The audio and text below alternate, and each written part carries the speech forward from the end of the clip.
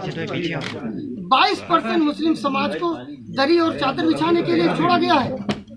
मुस्लिम समाज पूरे तौर पे गुस्से में है, रोष पाया जाता है उनके बुद्धिजीवियों में, उनके कराम में, उनके तमाम लोगों में। जो लोग भी इसको इसका सहयोग कर रहे गठबंधन का या मुबारकबाद दे रहे वो कौम के लीडर नहीं, डीलर हैं। और डीलरों की कौम में कोई हैसियत नहीं होती। इसलिए हम ये चेतावनी के लिए हमने ये प्रेस कॉन्फ्रेंस की है कि मुस्लिम समाज की संख्या के एतबार से मुस्लिम समाज की पार्टियों को हिस्सेदारी दी जाए।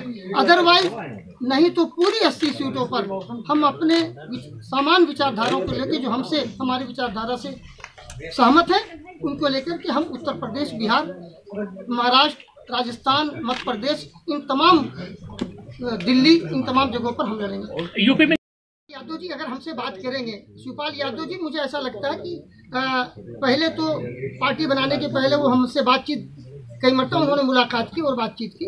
हमने हमारी दोनों की मुलाकात हुई थी लेकिन पार्टी बनने के बाद से उनके दिमाग में ये बात वही है क्योंकि वो समाजवादी से आए हुए हैं कि मुस्लिम समाज के डीलर हमारे साथ आ गए जैसा कि बात जगह पोस्टर वगैरह भी लग रहा तो उन डीलरों से उनका काम नहीं चलेगा। अगर वो आते हैं बात करते हैं तो हम इस पर विचार करेंगे। आपने समाजवादी पार्टी जब राजस्थान में गई मध्य प्रदेश में गई, महाराष्ट्र में जाती है, गुजरात में जाती है और मोदी जी को जिता देती है तो वोट कटवा क्यों नहीं कहते?